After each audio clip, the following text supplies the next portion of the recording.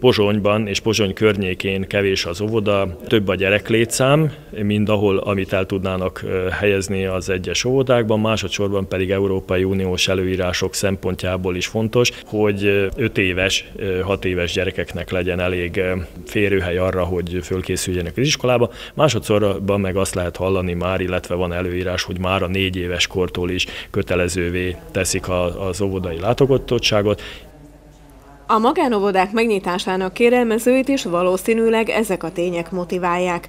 Viszont Dunaszerdahely óvodáiban nincsenek kapacitás problémák. Az elmúlt években pályázati forrásokból bővítették a férőhelyek számát az SNF téri és a Halpiac téri óvodában.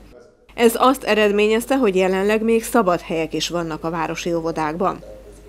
Dunaszerdahelyen olyan kedvező helyzetben vagyunk, hogy nem csak a Dunaszerdahelyi állandó lakhelyen rendelkező lakosok gyermekeit föl tudjuk venni a kilenc óvodánkba, hanem a környékbeli településekről érkezőket is. Az illetékes szakbizottság az elegendő férőhely mellett anyagi okokból is elutasította a magánóvodanyitási kérelmeket központi költségvetésből szánt forrást, amit az önkormányzat például Dunaszerde is megkap, abból mi csak és kizárólag nem tudjuk finanszírozni a kilenc óvodánkat. Tehát ehhez Dunaszerdei város a saját költségvetéséből több százezer eurót kell hozzátenni ahhoz, hogy ezeket az óvodákat tudjuk működtetni.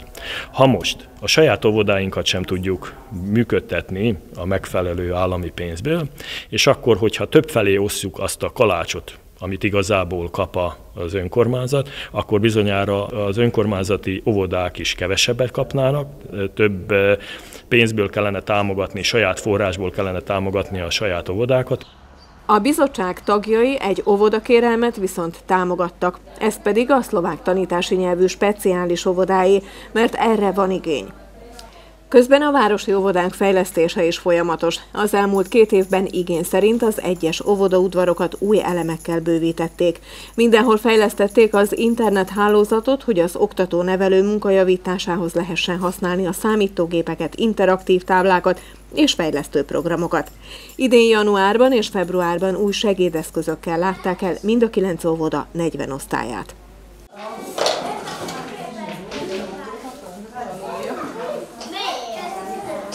Feltöltöttük úgymond a készleteinket könyvekből, gyönyörű szép könyveket kaptak, mint mesekönyveket, tudományos könyveket, képeskönyveket, mert tudjuk, hogy a gyerekek otthon keveset olvasnak. Azon kívül segédeszközöket kaptak, benti játékokat, fejlesztő segédeszközöket, tehát ami csoportosan is lehet foglalkozni, vagy pedig az egyéni fejlesztésre és egyéni foglalkoztatásra. Ezen kívül új szőnyegeket kapott sok osztály, amelyek interaktív szőnyegek, tehát elősegítik a gyermekeknek a mozgás igényének a kielegítését. Emellett az alvásra szolgáló helyiségekben is fejlesztettek. A gyerekek új párnahúzatokat és lepedőket kaptak, hogy a délutáni alvás szebb körülmények között történjen.